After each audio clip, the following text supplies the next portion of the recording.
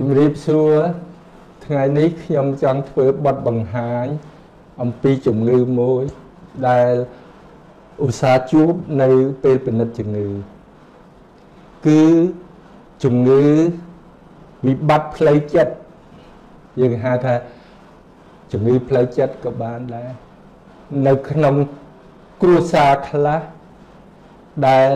តាក់ទងនឹងសង្គមយើងសពថ្ងៃ គឺក្នុងគ្រួសារនីមួយនីមួយខ្ញុំឬក៏បងប្អូនទាំងអស់ចង់បានសុភមង្គល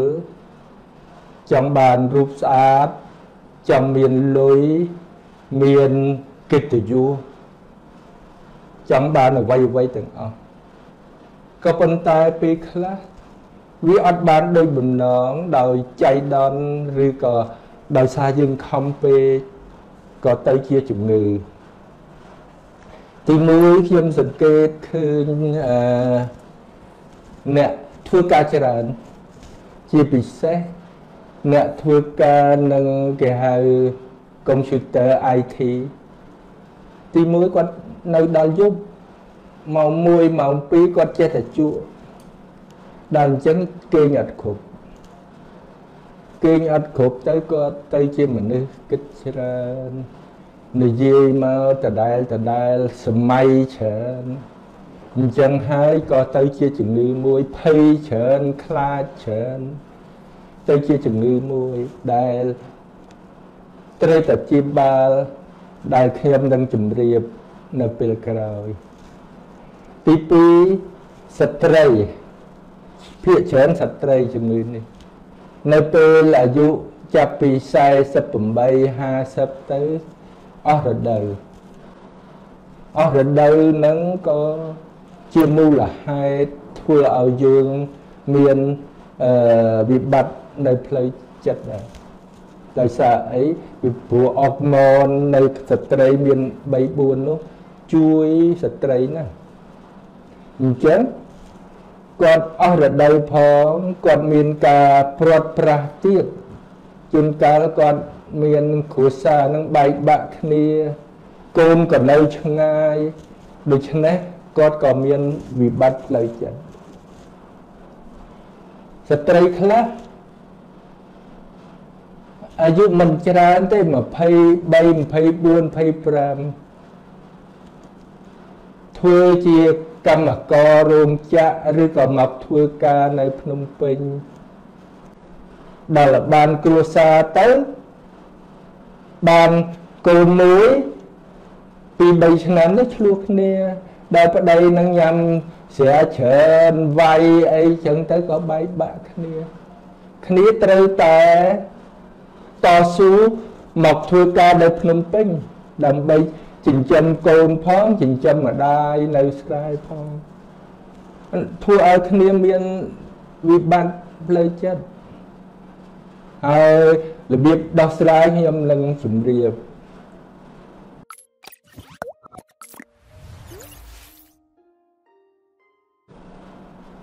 ខ្លះអាយុទៅ35 30អីទេទទួលការងារច្រើនទៅជាមេគ្រប់គ្រងគេ កាន់ការងារកាន់បុគ្គលិកកាន់លុយព្រោះគ្រប់គ្រងដោយខ្ញុំធ្លាប់គ្រប់គ្រងរដ្ឋបាលគណនេយ្យហើយក៏មានបញ្ហាច្រើននៅក្នុងគ្រួសារអញ្ចឹងក៏គាត់មានវិបត្តិនៅផ្លូវចិត្តទោះតិចជាច្រើនទោះតិចច្រើនអញ្ចឹងឃើញចម្ពោះមនុស្សច្រើនណាស់ដែលហើយមួយទៀត អឺឥឡូវនេះសម្បូរគេហៅឆ្នាំញៀនមិនមែនតែស្រុកយើងទេ ស្រុកគេដូចខ្ញុំបានជំរាបខ្ញុំបានធ្វើហើយឆ្នាំញៀនវាមានពួកម៉ូហ្វីនពួកអំហ្វេតាមីនពួកកូកាអ៊ីនហើយឥឡូវនេះឆ្នាំសណ្ដំមួយនេះទៅទៅជាពេញនិយមនៅស្រុកគេគេហ្វុងតានីលឆ្នាំហ្នឹងគេប្រើឆ្នាំសណ្ដំកុំឲ្យឈឺចាប់ទេបងប្អូនប៉ុន្តែវាលួចលាក់ មកគ្រាប់មកគ្រាប់ទៅសបាយព្រោះឆ្នាំញៀនធ្វើឲ្យសបាយស្រាបស្រាលនឹងស្រីស្រាបស្រាលមនុស្សភ្លើងពណ៌អីគឺថាគេខូចគេច្រើនយកទៅឲ្យញ៉ាំអញ្ចឹងក៏ជារឿងមួយនៃជំងឺផ្លូវចិត្តកាលណាជំងឺផ្លូវចិត្តដែលកើតឡើងនៅក្នុងគ្រួសារជាមួយនីមួយអ្នកខ្លះក៏កូននៅឆ្ងាយប្តីក៏ឈឺធ្ងន់ កូនក៏នៅស្រុកគេទោះជាមានលុយហើយក៏ក៏ក៏នៅតែជំងឺផ្លូវចិត្តពិបាកណាស់តើវាស្ដែងចេញជាអ្វីជំងឺផ្លូវចិត្តអស់នេះទី1ខ្លាចខ្លាចច្រើនគិតច្រើនសម័យច្រើនហើយវាតាក់តមកបេះដូងអ្នកខ្លះលោកគ្រូខ្ញុំខ្សោយបេះដូងអញ្ចឹងចេះភ័យភ័យញ័រតាក់តនឹងកាពះ ពវៀនចេះតែឈឺកាពះឬក៏បាត់ជើងញឹកដោយសារវាមានអតិពលពីខួរក្បាលទៅអញ្ចឹងជំងឺផ្លូវចិត្តអស់នេះពិបាកព្យាបាលបងប្អូនពិបាកព្យាបាលហើយប្រពន្ធលោកថាតែละខ្លួនឯងនេះខំព្យាបាលខ្លួនឯងព្រោះអ្នក ភាកច្រើនខ្លះមិនយល់ពីនៃជ្រៅនៃការអប់រំរបស់ប្រពុតស្មានតែសិលសូត្រធម៌មកជាបល័យស្ដាប់អត់យល់ទៀតស្មានតែសិលដូចខ្ញុំខ្ញុំស្ដាប់ធម៌ប្រពុតជាការព្រៀនប្រដៅលោករកឃើញអរិយសច្ចៈទាំង4ដោយកើតចាស់ឈឺស្លាប់បងប្អូនឃើញទេហើយសាសនាដូចអឺ អង្គរវត្តកពូល3អញ្ចឹងគឺថាសាសនាវាមានសាសនារបស់ប្រជាជនជំនឿនៅណាក៏មានជំនឿដែរសាសនារបស់ប្រជាជនដូចអរុកអរិយតាមរិញគង្វាលការសាសនាប្រជាជនបានយើងចេញមកពីព្រហ្មញ្ញសាសនា ដែលមានព្រះឥសូរព្រះនារីអីហ្នឹងគេព្រហ្មញ្ញសាសនាក្រោយមកបានពុទ្ធសាសនា អញ្ចឹងយើងត្រូវយល់នៃជំនឿហ្នឹងពុទ្ធលោកណែនាំឲ្យយើងជឿលើខ្លួនយើងអំពើដែលយើងធ្វើសប្ងៃហ្នឹងគឺបាបបុណ្យណាយើងធ្វើល្អបានល្អហើយអ្នកខ្លះមិនស្គាល់ព្រះអង្គទាំង5នៃពុទ្ធផងឃើញទេសិតតែពុទ្ធផងអង្គមុនគេហ្នឹងគឺនាគណាព្រោះតំណាងសត្វ ព្រះគឺតំណាងសត្វពុទ្ធហ្នឹងគឺនាគ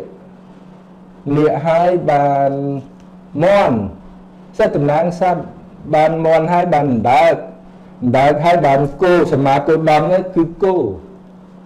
បងប្អូនខ្លះអត់ដែលដឹងផងនេះខ្ញុំស្រាវជ្រាវហើយចុងក្រោយនេះសាអាមេត្រីហ្នឹងគឺខ្លា5 អ្នកខ្លះអញ្ចឹងបានយើងគ្រាន់តែសមាគមដំហ្នឹង2560អីណាចុះតម្រាំមុនទៀតតម្រាំក្រោយទៀតរាប់លានឆ្នាំហើយរាប់ពាន់រាប់ម៉ឺនសែនឆ្នាំហើយបងប្អូនឃើញទេអញ្ចឹងចង់ន័យថាសរុបមកវិញធ្វើអ្វីធ្វើឲ្យជាក់ស្ដែងកុំឲ្យសម័យកណាត់ជ្ងឺផ្លូវចិត្តសម័យតែអីជីឡានទៅគឺខាស្ទះហ่ะ អញសម័យមកអញ្ចឹងអញគិតមើលអញធ្វើស្ពានអាកាសមួយដល់ផ្ទះអញកន្លែងធ្វើការអានឹងការសម័យហើយការសម័យហើយចង់បានស្ពានអាកាសមួយម្នាក់ឯងសម័យហើយហ្នឹងអូបើគេដាក់អត់សម័យជាក់ស្ដែងថាជីឡានជីម៉ូតូស្ទាំងធាក់កង់មួយផ្លឹបម៉ានគីឡូ5គីឡូហ៎មើលរ៉ែងស្ទះលើកង់ស្រាលមួយអាហ្នឹងគេហៅជាក់ស្ដែងហើយបើអ្នកសម័យ អូអញធ្វើស្ពានអាកាសមួយអញធ្វើសារមួយសម្រាប់អញអាហ្នឹងសម័យហើយបងប្អូនហ្នឹងហើយផ្លូវចិត្តខ្លះពិបាកការងារពេកចង់តែនៅសុខស្ងាត់នៅវាលស្រែទេសភាពម្នាក់ឯងដូចខ្ញុំបានជម្រាបហើយចង់បានសុខភាពតើនៅចិត្តធម្មជាតិក៏ប៉ុន្តែអ្នកចង់បានលុយដើម្បីរស់ត្រូវនៅចិត្តមនុស្ស បានវាចេញជាលុយកើតនៅទីក្រុងមិនចឹងមិនមែនមនុស្សមកពីស្រុកស្រែចូលមកទីក្រុងទេក៏ប៉ុន្តែទីក្រុងត្រូវប្រើអារម្មណ៍ត្រូវការប្រជែងត្រូវការប្រកួតត្រូវការបានឈ្នះគេមិនបានលុយត្រូវការបញ្ញាអញ្ចឹងវិធីដោះស្រាយដែលអ្នកដែលមានរោគសញ្ញាញ័រធូងគិតច្រើនសម័យច្រើន ឈឺយើងហៅថាខ្លះថាមកមើលជំងឺថាឈឺបេះដូងខ្លះមកមើលជំងឺថាខ្ញុំកាពះឈឺរហូតមកពីយើងគិតច្រើនញ៉ាំអត់ទៀងទេអញ្ចឹងវិធីដោះស្រាយគ្មានអីជាងជាក់ស្ដែងទេបងប្អូនកុំឲ្យដោះស្រាយខុសតែដោះស្រាយខុសគឺធ្ងន់ធ្ងន់ធ្ងន់រហូតដល់ទៅលោតទឹកសម្លាប់ខ្លួនដោះស្រាយខុសហើយ ដោះស្រាយខុសយកសេរាជាត្រីមុខថាអូមានមកផឹកស្រានឹងហើយបានដោះស្រាយអើផឹកផឹកផឹកយូរទៅខូចថ្លើបអស់មិនមែនដោះស្រាយអញ្ចឹងទេបងប្អូនដោះស្រាយហ្នឹងហៅដោះស្រាយរបៀបខុសណែដោះស្រាយយើងត្រូវដោះស្រាយជាក់ស្ដែងជាក់ស្ដែងហ្នឹងគឺបានន័យថាដូចខ្ញុំបានជំរាបអញ្ចឹង ដោះស្រាយជាក់ស្ដែងយើងដោះស្រាយតាមរបៀបញ៉ាំរស់នៅរបៀបធម្មជាតិដូចថាត្រូវខ្យល់ត្រូវពលឺពេលខ្លះយើងធ្វើការពេលថ្ងៃយើងធ្វើការប៉ុន្តែពេលល្ងាចយើងសម្រាកអាហ្នឹងហៅរស់នៅធម្មជាតិញ៉ាំអាហារស្រុកយើងនឹងគឺជាអាហារល្អ អាហារល្អបើយើងចេះញ៉ាំហើយអស់តម្លៃថោកខ្ញុំនិយាយដដែលដដែលតែតគួនផ្ទីម្រះពេញប៉ោះតឡាចលពៅខ្ញីគ្រប់បែបយ៉ាងសិតតែជាអាហារល្អសម្រាប់យើងបងប្អូនពិសាទៅឆ្នៃទៅម្ដងឆាម្ដងស្ងោរម្ដងសឡំជូរដាក់ត្រី បងប្អូននៅក្មេងញ៉ាំសាច់ក្រហមខ្លះទៅចាស់គេឲ្យញ៉ាំអាទិត្យពីរដងតែអញ្ចឹងអ្នកជំងឺខ្ញុំខ្លះស្លាំងគ្រាប់គ្រាប់ឈាមក្រហមបានតែ3លានជិត4លានខ្វះហើយបងប្អូនអញ្ចឹងយើងត្រូវញ៉ាំអាហារដែលមានសាច់មួយអាទិត្យពីរដងទោះតែយើងនេះក៏ត្រូវតែខំដូចជាងាវក្រហមហ្នឹងក៏ក្រហមដែរបើអត់ទេជាដែក អញ្ចឹងហើយបានជាខ្ញុំឃើញស្លាំងហើយគាត់មិនព្រមញ៉ាំសាច់មានតែវីតាមីនលាជាតិដែកអ្នកជំងឺខ្លះតូចចិត្តនឹងឈឺទឹកនោមផ្អែមរ៉ាំរ៉ៃទឹកនោមផ្អែមជាជំងឺមួយទាន់សម័យក៏ប៉ុន្តែវាប៉ះពាល់ដល់សរសៃឈាមដល់សរសៃប្រសាទ ដល់តម្រងលោមដល់បេះដូងដល់ខួរក្បាល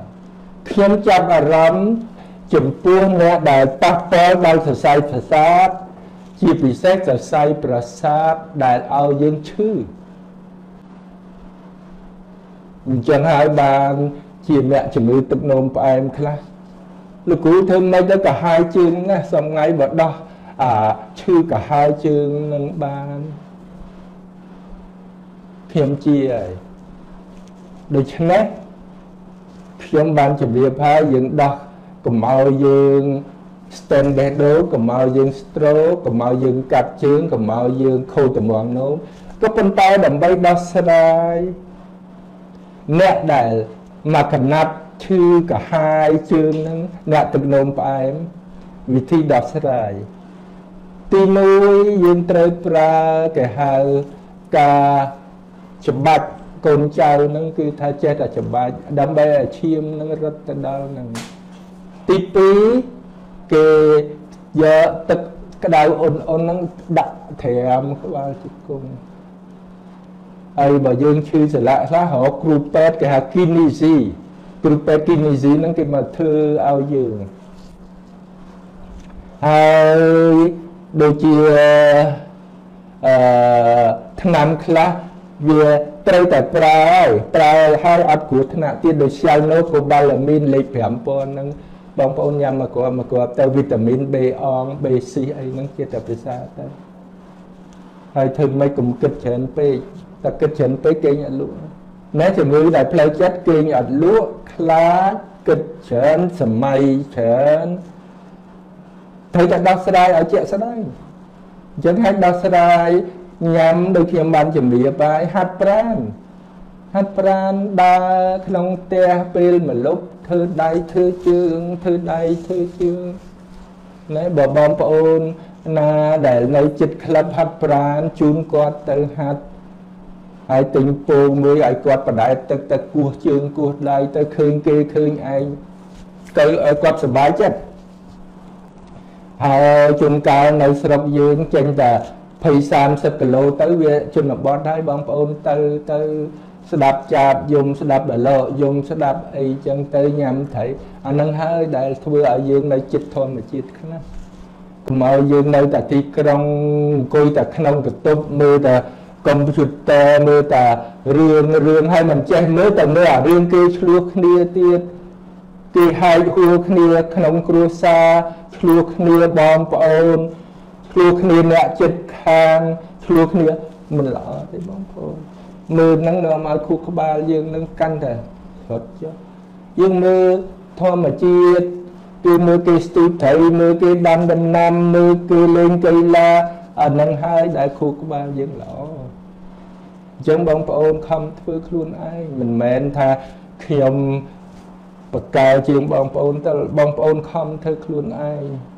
ផ្លូវចិត្តនេះតើដោះស្រាយខ្លួនឯងដោះស្រាយខ្លួនឯងហើយបើដោះមិនចេញទេចាំ